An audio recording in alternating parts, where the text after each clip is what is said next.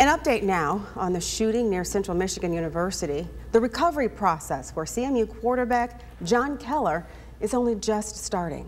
That's right, Colette. Yeah, he is on the mend after being taken off a ventilator a week ago. But the road to 100% will take a while. Now, after talking with his dad, John won't be remembered as a shooting victim, but rather a survivor and a hero. Take a listen. He's doing okay. He is still in ICU. Um, he is um, progressing each step of the way. Um, we're excited that he's off the ventilator. But the recovery process is still in its beginning stages.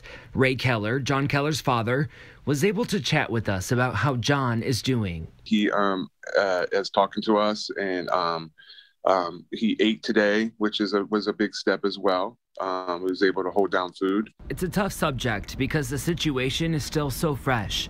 After getting the call at 3:30 in the morning on April 24th, John's family dashed from Ohio to Hurley Medical Center in Flint. Grabbed all of our stuff and ran out the door. Ray says many witnesses called John a hero the night of the shooting because he prevented the suspect from getting any further inside the apartment. Are grateful that our son is the kind of man that would prevent others from being hurt we're grateful for his leadership and his ability to have the heart. Ray says John was shot through his pulmonary artery, through his lung, and out his back. It's a miracle my son is alive. In our conversation, Ray couldn't be more grateful for the prayers, well wishes, community support both here and back home, as well as the support from Central Michigan University. They were here for my son before we got here.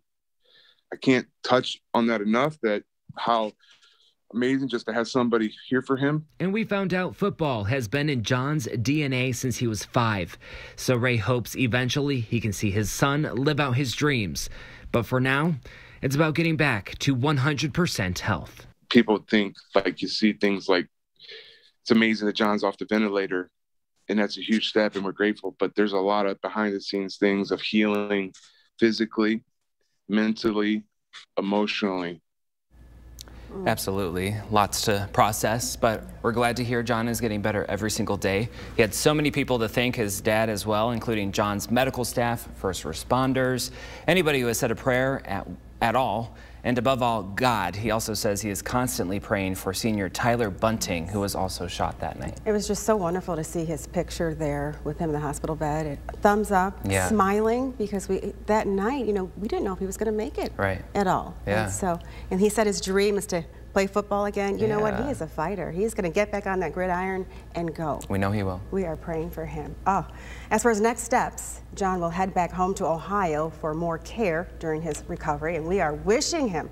all the best and a speedy recovery. Absolutely. Thank you, Blake. Yeah.